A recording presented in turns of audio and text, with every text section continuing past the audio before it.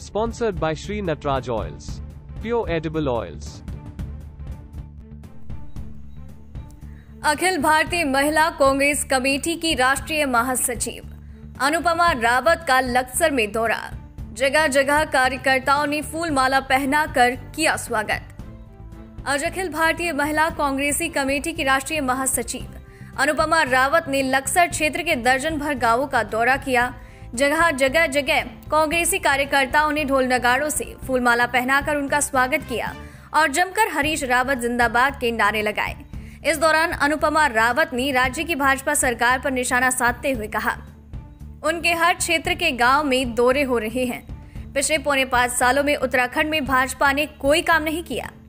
नवभारत समाचार लक्सर उत्तराखंड से फिरोज अहमद की रिपोर्ट। हमारे विश्वास पर विश्वासघात किया। इसलिए निर्णायक भूमिका निभाने का समय आप लोगों पर है। निर्णायक भूमिका निभाने का समय अनुपमा रावत, संजय सैनी, रोहतास सैनी या हम कह सुशील लाठी पर नहीं, ये आप सब पर है। आप लोग हमारी आवाज़ है। आप लोग हमारी आवाज़ बुलंद करते हैं। आप लोग हर गाँव से, हर क्षेत्र से, जहाँ पर भी आपके सगे संबंधी, आपके रिश्तेदार, नातेदार, आपके जानने वाले हैं, उनसे चाहे दूरभाष से हो, उनसे संपर्क कीजिए और ये कहिए कि नहीं भाई, कांग्रेस नहीं। जब भी विकास पाई कांग्रेस पाई जब भी विकास करेगी, कांग्रेस करेगी। हमारे दौरे लग रहे हैं। हर गाँव में, हर क्षेत्र में हम पहुँच रहे हैं। पिछले पौने पाँच साल में, उत्तराखंड में भाजपा ने कोई कार्य नहीं किया। जितना बड़ा बहुमत देकर यहाँ के प्रबुद्ध नागरिकों ने इन्हें सत्ता में बैठाया।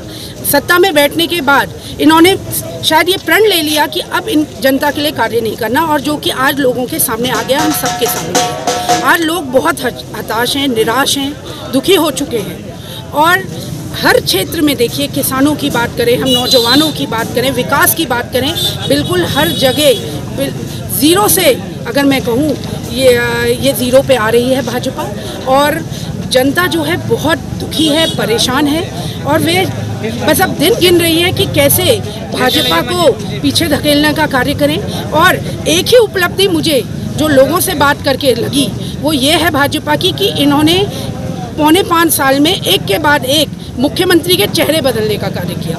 बस एक कमी को छुपाने के लिए दूसरे को, दूसरे की कमी छुपाने के लिए तीसरे को, यही एक कार्य करती रही। जनता के लिए कोई एजेंडा, कोई सोच इनकी नहीं थी। अगर होती तो आज लोग इतने दुखी और परेशान नहीं सरकार फेल हो गई है, क्योंकि भाजपा ने इतना बड़ा बहुमत मिलने के बाद भी आज कहीं भी विकास का कार्य नहीं किया है। ये लोगों से, भाई से, भाई को लड़ाने के लिए कोई विकास कार्य नहीं किया है इन्होंने। माननीय हरीश रावत जी ने जो विकास कार्य किया है, वो धरातल पर दिखाई दे रहा है। लेकिन इस सरकार ने कहीं भी कोई धरातल का काम नहीं किया है। अभी जिस रोड से हम आ रहे थे, इतने बड़े बड़े पत्थर पड़े हैं कि कैसे ये लोग चलते हैं, कैसे यहाँ गुजारा करते हैं, बड़ा मुश्किल है। लेकिन उस टाइम पे माननीय हरीश रावत जी ने सब रोड बना दी थी, दूर से दिखता है कि ये उत्तराखंड है और इसमें रोडों की कितनी अच्छी हालत है। विकास के कार्य उस टाइम बहुत चल रहे थे।